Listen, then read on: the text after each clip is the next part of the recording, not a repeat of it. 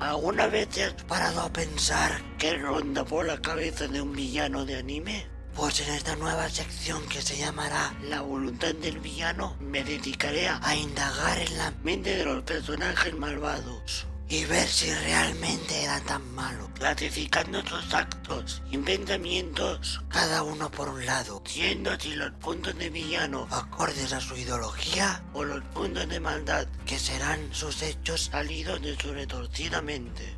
Y vamos a empezar por un clásico que seguro todos conocéis, Kira, también conocido como Line Yagami. Así que vamos a comenzar con los puntos de villano. Durante mucho tiempo que ha estado vivo este anime, los fans se dividieron en dos grupos, denominados Team Light o Team L, cuyo cada grupo apoya la ideología de cada miembro. La ideología de Light era que cualquier delincuente no merece vivir, sea cual sea su pecado. Sin embargo, la teoría de L no era muy diferente, con la pequeña diferencia de que él no asesinaba a nadie, simplemente les daba su bien merecido castigo. Aunque él tampoco tiene mucho aprecio a la vida, como cuando usó un doble suyo para un experimento.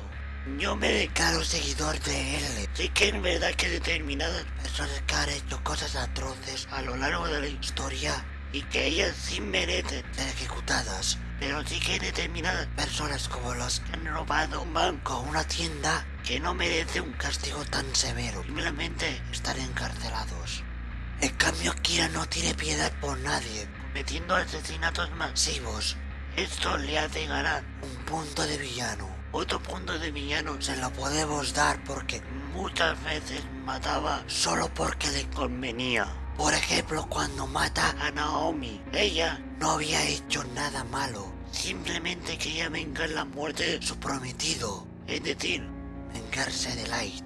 Así como cuando mató a L, él tampoco hizo nada malo. Simplemente era protector de la justicia. Ahora vamos a por los puntos de maldad. Kira era extremadamente manipulador, ya que consiguió manipular a Misa Amane, quien lo amaba con locura. Kira se aprovechó de esto, haciendo así que se convirtiera en su cómplice. También pasó con Rem, el Shinigami de Misa Amane, quien se sacrificó para salvarla. Todo a causa de los hechos manipuladores de Kira. Esto le hace merecedor de un punto de maldad. En la diabólica mente de Kira, él cree que es un dios, capaz de matar a todo aquel que él quisiera, en el momento que quisiera. Teniendo una mente narcisista, y aunque eso se considera un trastorno mental, eso no le da la justificación para matar porque sí, y le hace merecedor de otro punto de maldad. Habiendo dicho esto, ya tenemos bien repartidos los puntos. Si el personaje desarrolla más puntos de villanos que de maldad, claramente es un villano. Si el personaje desarrolla más puntos de maldad que de villano, entonces es considerado un antihéroe.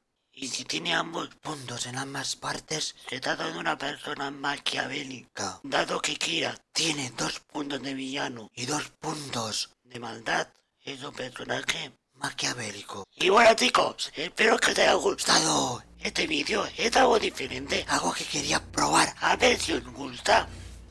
En este vídeo no veréis mi cara de mierda. Pero ahora sí espero que os haya gustado muchísimo este vídeo. Me he matado con la edición. Y espero que os haya gustado mucho. Nos vemos en la próxima. Chao.